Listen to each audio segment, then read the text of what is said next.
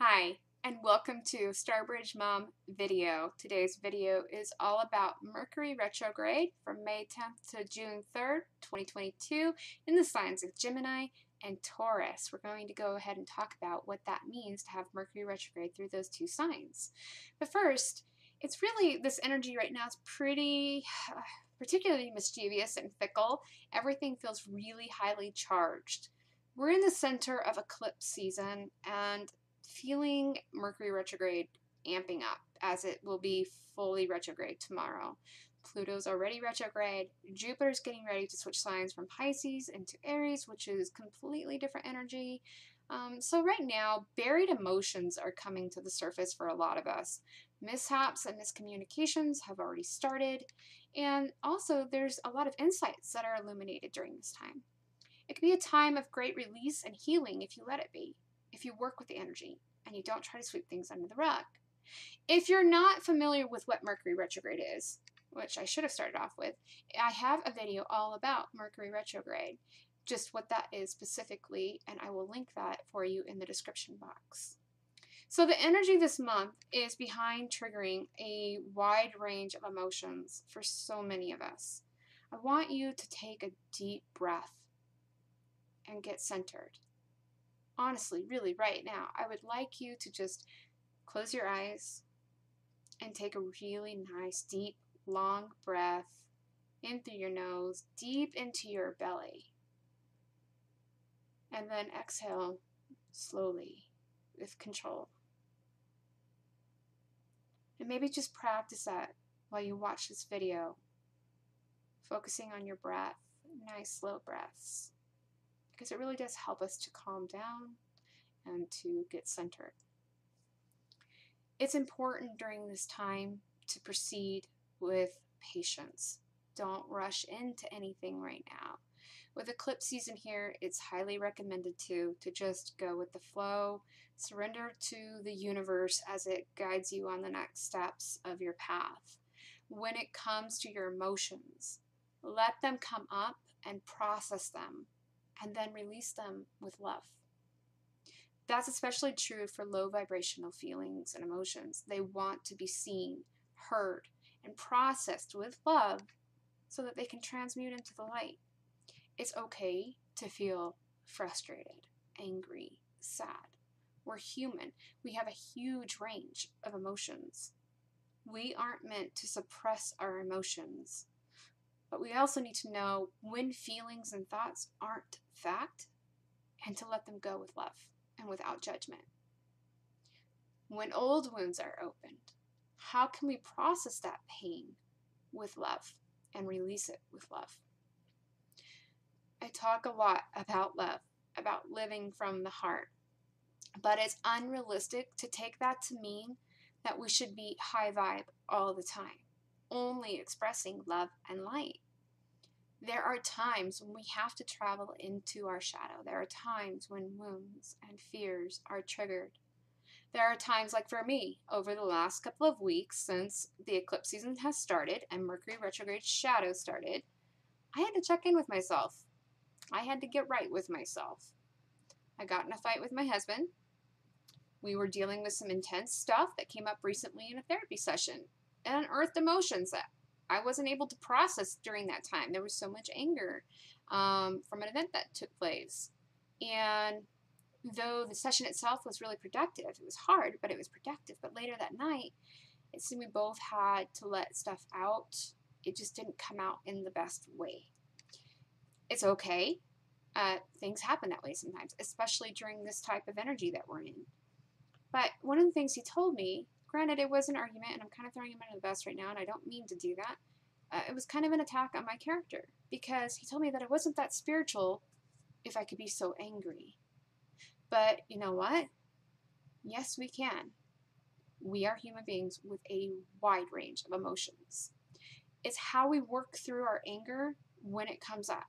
Being spiritual does not mean you don't feel a full range of emotions. It doesn't mean you don't feel pain anger, sadness, grief, betrayal, loss? You absolutely do. But it's what you do with it, it's how you respond to it. That's what makes the difference. Okay? Then a few days ago, I re-broke my little toe. So, a couple days ago, right, we're in this heavy shade of Mercury retrograde starting. I was preparing for my son's 18th birthday party, and I stubbed my toe on my toddler's rocking chair, and instant pain and devastation set in. I broke it last October during the post shadow of Mercury retrograde and it was just finally starting to make improvement. I literally that day, earlier that day, just this last Friday, thought, oh, it's not aching as I walk around the grocery store. And then I came home and snap, I broke it again. I was pissed. Okay. I wrote a post about it. I cursed. Someone told me they would pray for my language. People think anger, frustration, pain, cursing aren't signs of someone that's intelligent and or spiritual. It's not true. I'm here to tell you that is not true. Feel your feelings. If you suppress that shit, it's going to go right into your shadow, and I promise you, it will come up again, and it's going to come out in other ways, and it will not be productive or pretty.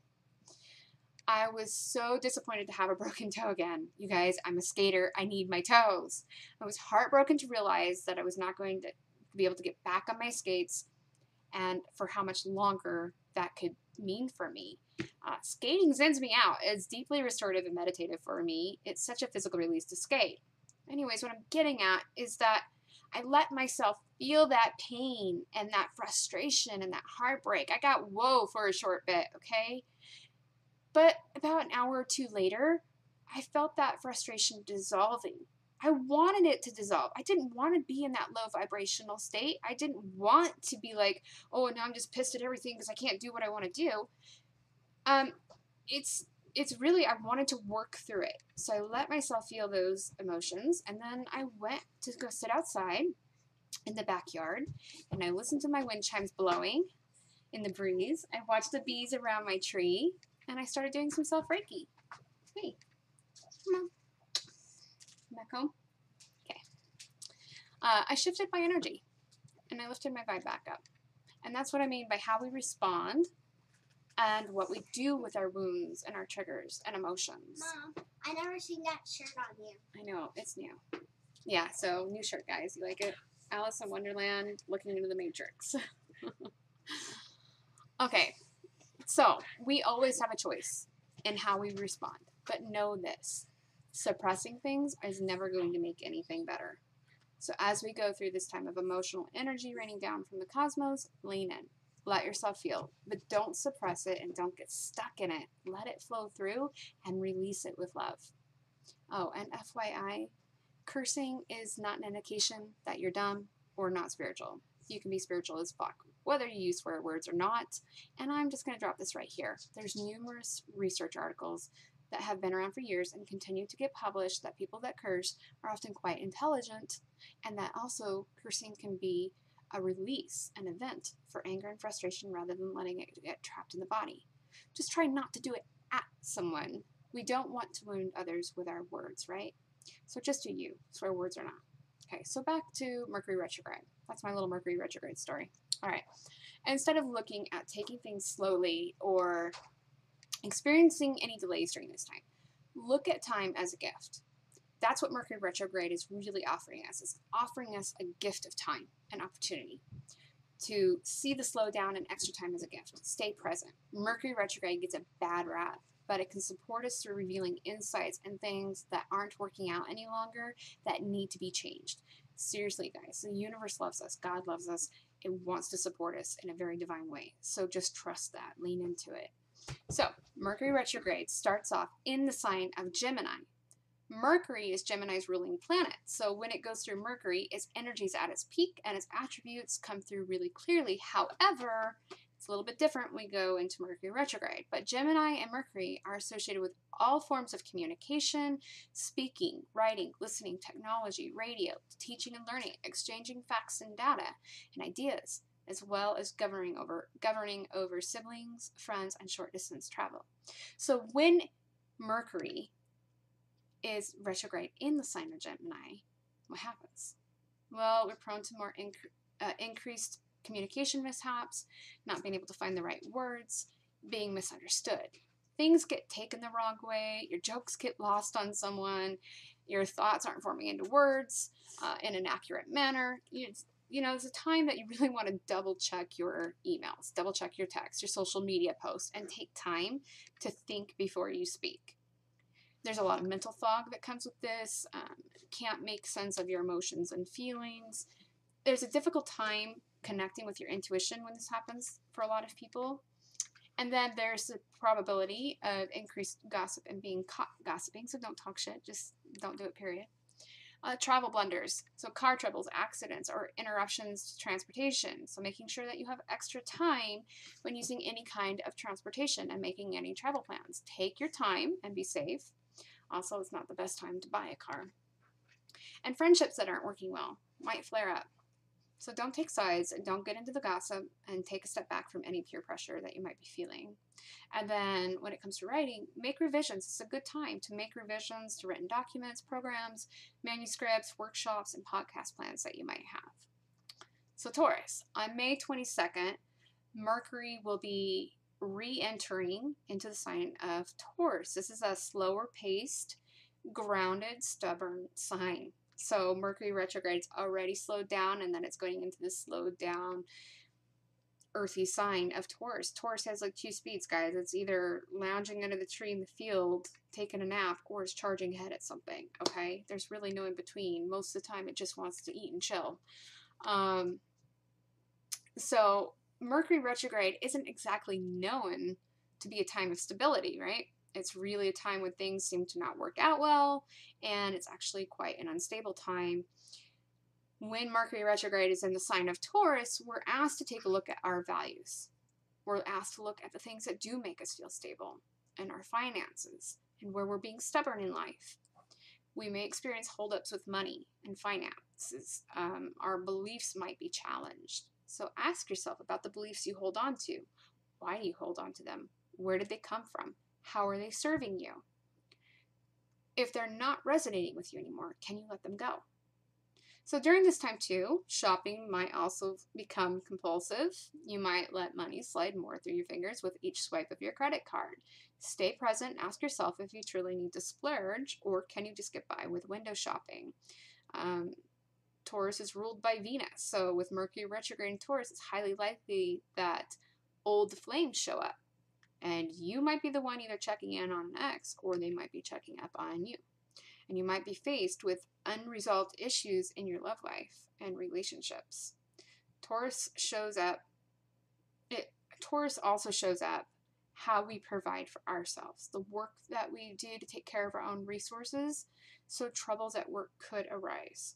Because for Taurus, it's really important to be able to have your own resources have control over your own resources, food on the table, clothes on your back, roof over your head, you know, your material possessions, things like that.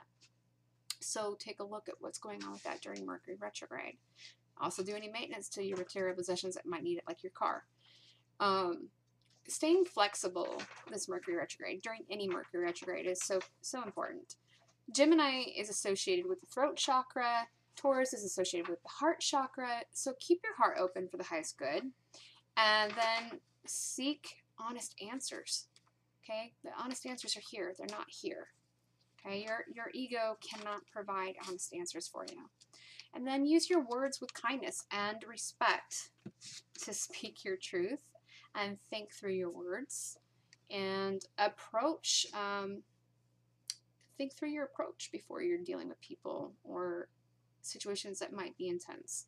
So see troubles that arise that come up during Mercury retrograde. There's you know a lot of ways that it can be that it can feel overwhelming or chaotic.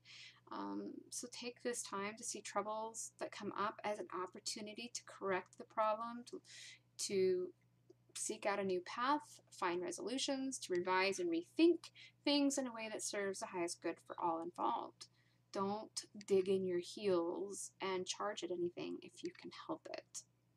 So that's my two cents on Mercury retrograde, May 10th through June 3rd this year. Uh, I hope that helps give you guys some insight into what to expect and what the energy is like right now. I'm sure you're feeling it. So Uh, if you would like more information about Mercury retrograde and what that is, like I said earlier, I do have a video on just what Mercury retrograde is uh, and how to deal with it, the do's and don'ts.